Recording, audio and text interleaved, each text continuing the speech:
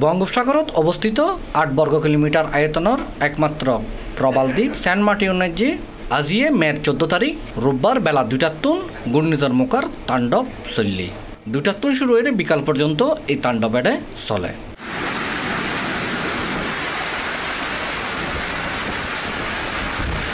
ঘূর্ণিঝড় মুখার তাণ্ডবে সেন্ট মার্টিনের শত শত গাছপালা এবং প্রায় হাজার কানেক বাড়িঘর ক্ষতিগ্রস্ত। এটা প্রায় সাতশোর মতো বাড়িঘর সম্পূর্ণ ধ্বংস হয়ে গিয়ে বুঝি জানাই সেন্ট মার্টিন ইউনিয়ন পরিষদের চেয়ারম্যান মুজিবুর রহমানের এখন স্বাভাবিক অবস্থা নেই মানুষজন আস্তে আস্তে এরিয়ার যার থেকে দিয়ে গই সবচেয়ে সমস্যা হইলে আরও বেড়ে ওই যে যারা এরপর বাড়ি আর কিছু কাঁচা ঘর, ওই যে বেড়াদি বেনিলে ঘর এগুলা প্রায় শ্বাসত ঘর উড়ে দিয়ে তাহলে এখন এটা অত গরিব মানুষ এখন আত্মীয় সময় বাড়ি দিচ্ছে আমি রাজ্যের সরকার হাতে দাবি গুরুদের এখন মুজিব বর্ষ করে যদি বসায় গুরু দিলে তারা সবচেয়ে ভালো। মিনিমাম হওয়ান বাড়ি ভাঙি বুঝানোর প্রায় সাতশো হয়ে দিল গেলি এরপরে ওই যে সিমি টাকা প্রায় আড়াইশো মতো ওই বাড়িঘরের ওই যে টন লিগিয়ে টন নেই। ইটান আছে তার আচ্ছা।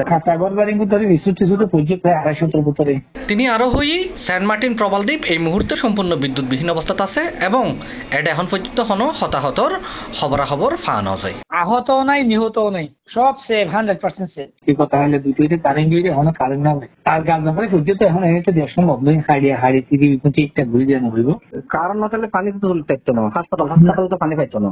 না না না ভাইব তো বিদ্যুৎ নাই জ্বরের বৃষ্টি মারে সম্ভব নয় ইন্দি কক্সবাজার জেলা প্রশাসক মোহাম্মদ শাহিদ ইমরানে হই ঘূর্ণিঝড় মোকার প্রভাবে কক্সবাজার জেলা অন্তত দুই হাজার গড় পুরোপুরি ভাঙে গিয়ে, আর প্রায় দশ হাজার গড় আংশিকভাবে ক্ষতিগ্রস্ত। এটা সবচেয়ে বেশি ক্ষতিগ্রস্তই Saint Martin.